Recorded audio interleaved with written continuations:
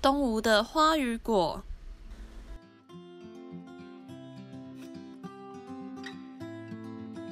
让我们看看东吴人工种植的花与果吧。学校大拱门内的紫藤，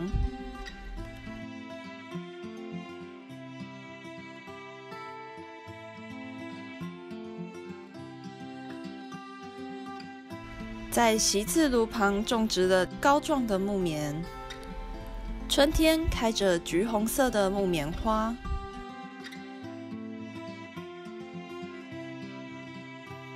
吸引着蓝雀来这里逗留。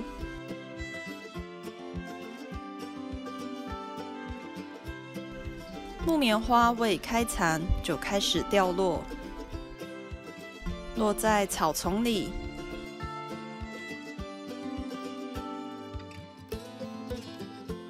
掉到马路上。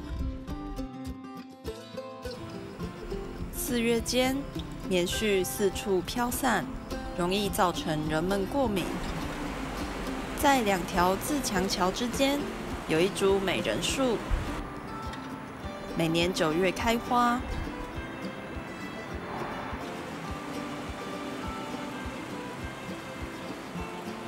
美人树树枝上有刺，与木棉相似，随后结成果子，爆开成棉花球。在教师二楼与文社旁种植了两株南洋樱，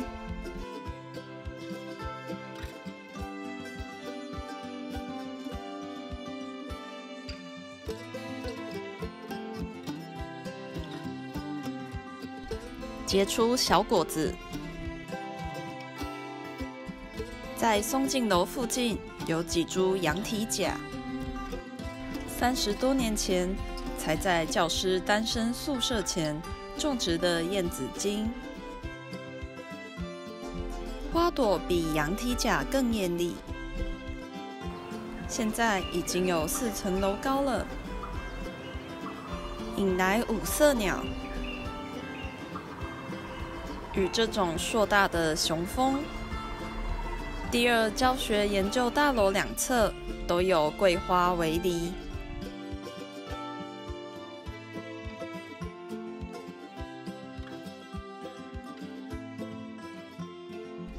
花小不起眼，不过带着香气。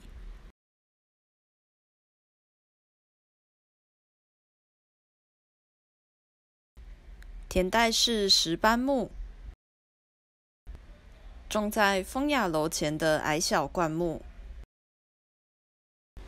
紫薇千屈菜科，开紫色花。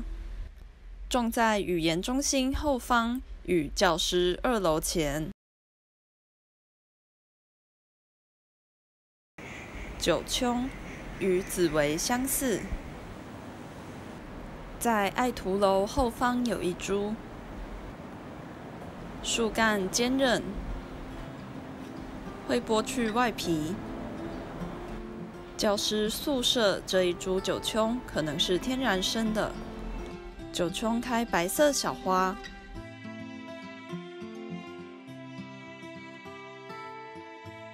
结果的样子。冬天树叶会变红，落叶。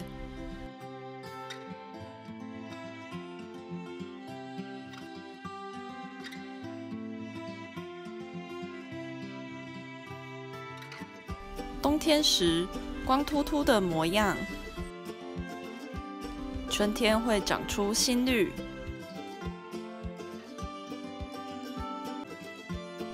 朱槿是很常见的园艺植物，品种繁多。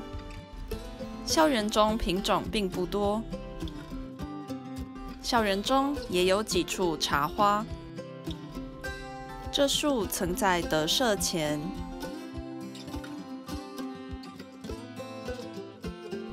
这几株在安素堂旁，教师宿舍区曾有含笑花，不知道是否还健在。德社前曾有木芙蓉，开花甚美。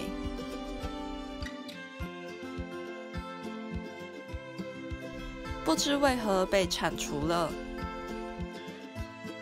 四月当令的白流苏花，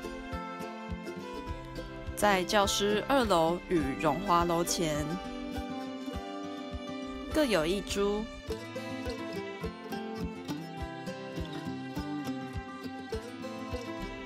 不知为何这两年这株死了。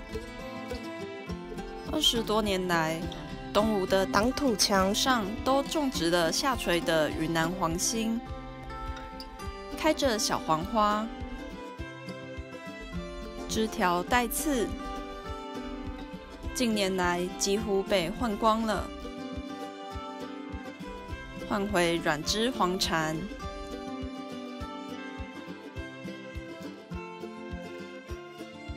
校园各处常摆放一些石花，如雪茄花、六月雪、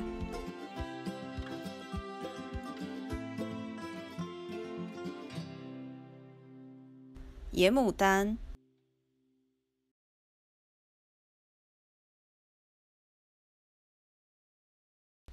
马缨丹、麒麟花。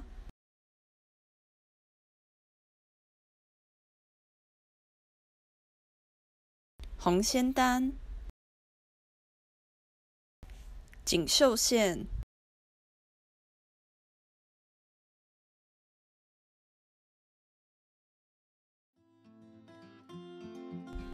还有许多依照季节更换的草花。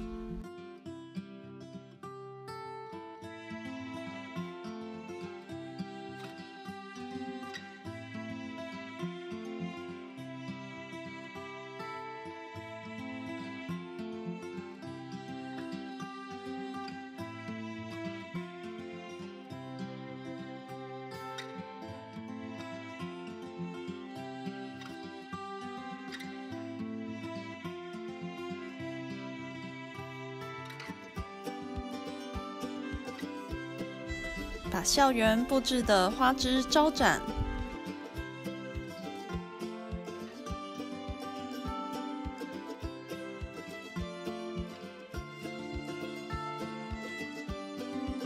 园艺商的功劳不小啊！倒不如多用一些变叶木等多年生灌木，比较经济实惠。花，蔷薇科，每年春节前后开花。校园最早的樱花树是我三十多年前手种的，后来在教师宿舍区。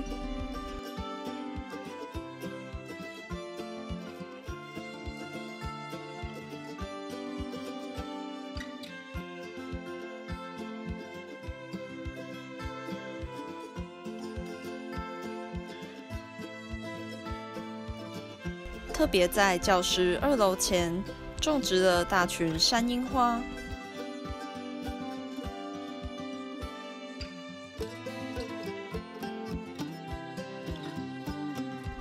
吸引赏花客。我爱躲在走廊柱子后方，比较不会吓跑这些教客。绿袖眼最爱樱花。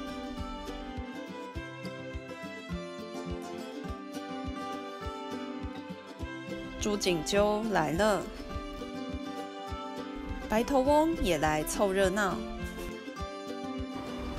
花落叶出，换来红樱桃。可惜酸涩无甜味。西边大楼旁种植了两排友谊之樱，是日本友人送的名种樱花。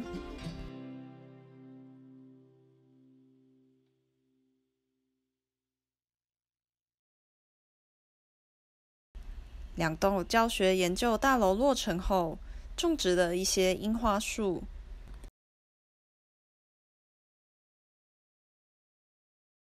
三月天，杜鹃花开满校园，种植在冤家路旁、崇惠堂后方、好汉坡路旁、安素堂与素书楼之间。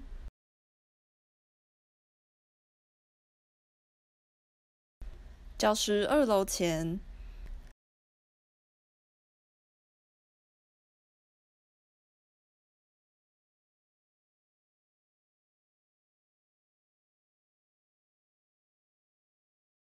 林溪处阳光足，杜鹃花最盛开，种植在步道旁，品种也最丰富，有纯白色的。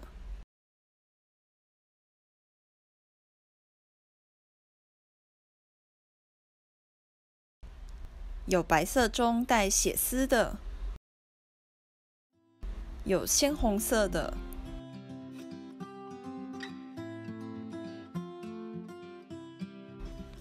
有粉红色带提痕的，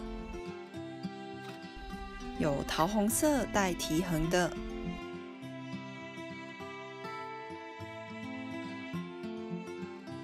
九重葛，小园中最吸睛。种植在校门后、校门旁，这里阳光最足，花开最美。有种植到停车场的入口处，另外就是综合大楼前方与后方的马路旁，品种多样化，有传统紫色的，有桃红色的。有深红色的，有粉红色的，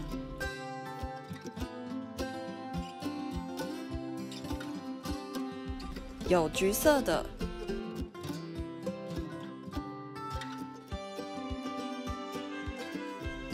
这种橘色又有点不同，还有纯白色的，有白色带粉边的。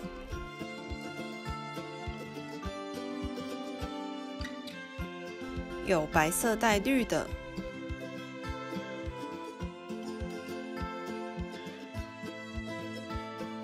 还有绿色的。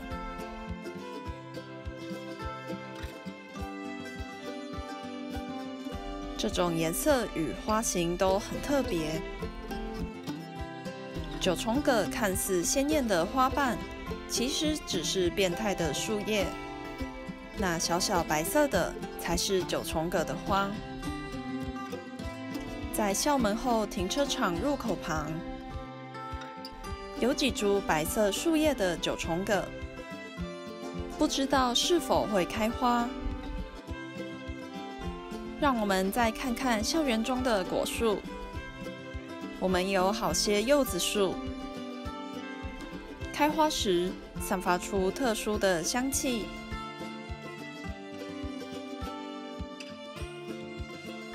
还招蜂引蝶，柚子花落满地。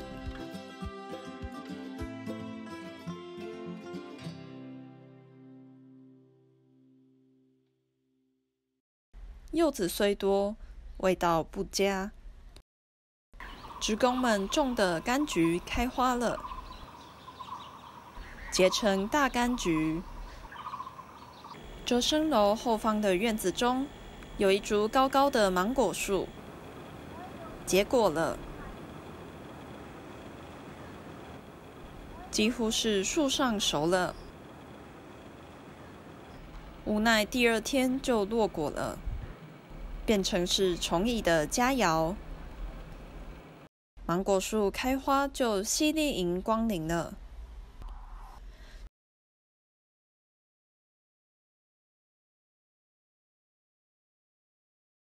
教师宿舍区有一株洛梨树，开花结果了，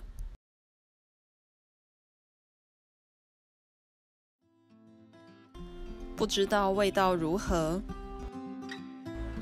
过去宿舍区有多株桑葚树，曾供应学童养蚕时的桑叶，近年越来越少了。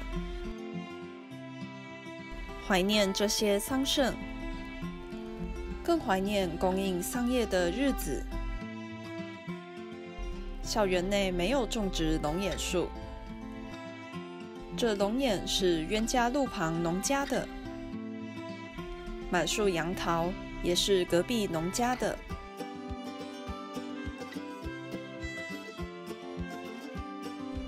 崇惠堂后方宿舍区有莲雾树，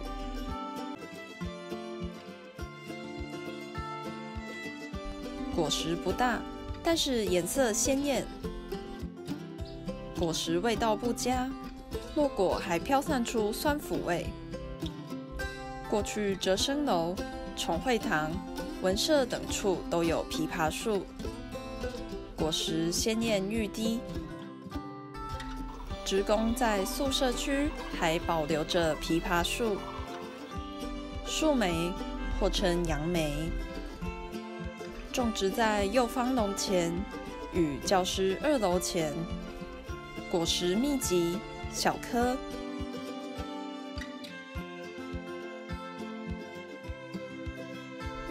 教室二楼前有李树开花结果，三月李花白，曾经以校门外东吴绿地的最美。宿舍区职工种植的木瓜，味道甜美，南雀最爱。香蕉也好。职工宿舍前的番石榴树与枇杷树，还有这株高高的槟榔树。教师宿舍前的番薯叶，校园中的经济作物大多是职工们的杰作。这样的校园才像家啊！欢迎分享订阅。